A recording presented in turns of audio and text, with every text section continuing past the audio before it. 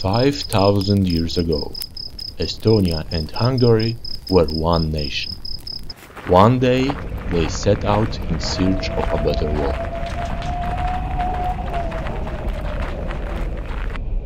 At one point, they found a signpost.